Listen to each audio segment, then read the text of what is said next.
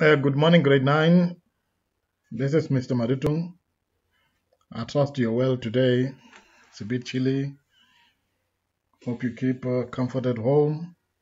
Just get in a blanket and get ready. Let's come to study. We're going to be looking at uh, circuits, electric circuits. Now, we've said that uh, electric current is a flow of charge Remember that it's different from electrostatics. Electrostatics, then we were talking about charges that are stationary. Now today we're going to be constructing our circuit. I'm going to be using a program here called PhET. You can download it at phet.com. It's a free simulations which you can use to enable your learning. Now we're going to be doing our exercise number one, which says build a circuit that is has got a battery that is made up of two cells connected in series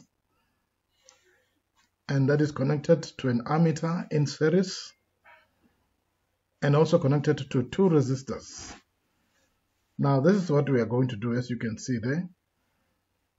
We are going to take my two batteries, connect it over there put my wires. Notice that the wires, they've got the minuses inside. Those minuses, they are the electrons. The battery just give a push to push these electrons to move around. Now I'm going to put my switch over there. I'm going to put my wire after that. Then I take my resistor, number one, and number two. Yes, that is a light bulb. Remember we said that uh, a light bulb can also work as a resistor. And then after we connect our current, we're going to be connecting our ammeter. Remember our ammeter, it shows the current that is flowing in the circuit. Let's measure our voltage. It's 18 over there. Now let's put on our switch. Remember our switch is a component that allows current to flow or to stop. Let us put it on.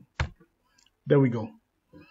Now immediately we close our switch, we can see that the electrons they are flowing through the components into the ammeter around. So the battery it just gives a push.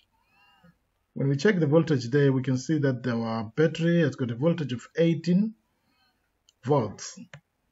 Now let us check the voltage across that uh, resistor over there.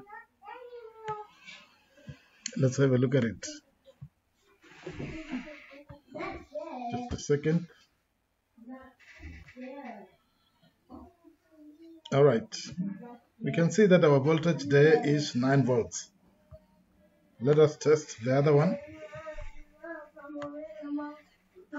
The voltage there we can see, oh, I need to reverse my polarity negative must be on the negative side and positive must be on the side that goes from the positive terminal over there. So the negative must be over this side. That's why it was giving us a negative. So what we see is that that voltage that we had in the battery, that voltage that we had in the battery,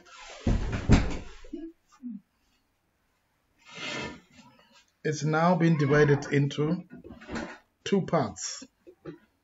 So we can conclude that uh, whenever you connect resistors in series, they are going to divide the voltage.